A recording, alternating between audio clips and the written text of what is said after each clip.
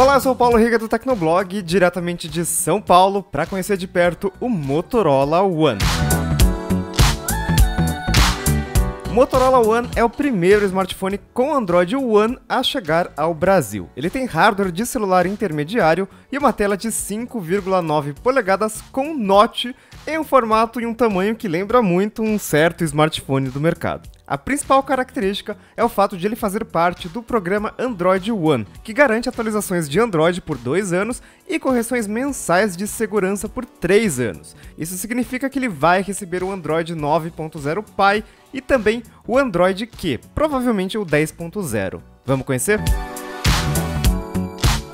O Motorola One é um típico celular de 2018. Ele é bem acabado, tem moldura de metal e uma traseira de vidro que adora impressões digitais. Goste você ou não, ele tem um entalhe na tela para abrigar a câmera frontal e o alto-falante, mas mantém uma espécie de queixo ali embaixo com a marca da Motorola. A tela é uma LCD de 5,9 polegadas com resolução HD Plus de 1520 por 720 pixels. Não é a pior coisa do mundo, a definição, aliás, é bastante satisfatória, mas claro que fica abaixo de alguns concorrentes do mesmo segmento, notavelmente o Asus Zenfone Max Pro, que já entrega um painel Full HD Plus e até dentro da própria Motorola. O Moto G6 já tem um painel com resolução melhor. As cores são boas, mas parece que o brilho não tem tanta força quanto deveria.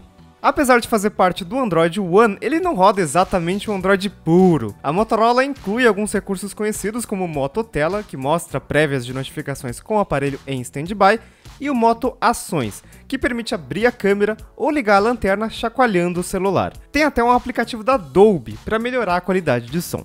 A câmera frontal é de 8 megapixels e tem um flash LED para tirar selfies em ambientes com pouca luz. A câmera traseira é dupla, com sensor principal de 13 megapixels e abertura f/2, e um secundário de 2 megapixels. Essa câmera secundária serve basicamente para o modo retrato, para tirar fotos com fundo desfocado, mas a gente precisa testar melhor o celular para ver se o efeito fica bom mesmo, já que os aparelhos anteriores da Motorola decepcionavam um pouco nesse quesito. O hardware fica dentro do esperado para um celular dessa categoria, mas pode decepcionar um pouco por causa do processador meio antigo, o Snapdragon 625. Ele ainda dá um bom caldo e é melhor que o Snapdragon 450 do Moto G6, mas bem que a Motorola poderia ter caprichado um pouco mais. Ele vem acompanhado de 4 GB de RAM e 64 GB de armazenamento interno, com possibilidade de expansão por micro SD, além de uma bateria de 3.000 mAh com carregamento rápido.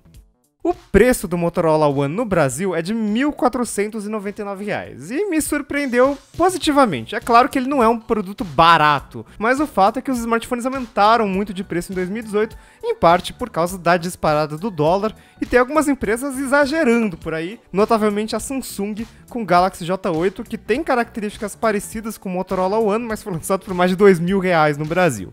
Se a gente considerar que o preço do Motorola One também deve cair no varejo com o tempo, é provável que a gente tenha um custo-benefício bem interessante no segmento de celulares intermediários. Muito bem, essa foi a primeira olhada no Motorola One. Curtiu? Dê um joinha para ajudar a divulgar e se inscreva no canal para acompanhar novos vídeos. Se você tem alguma dúvida, deixe aí nos comentários. Análise completa do Motorola One, com duração de bateria, qualidade de câmera e desempenho, sai nas próximas semanas. Eu sou o Paulo Riga e todos os detalhes você encontra lá no Tecnoblog. Até a próxima, tchau!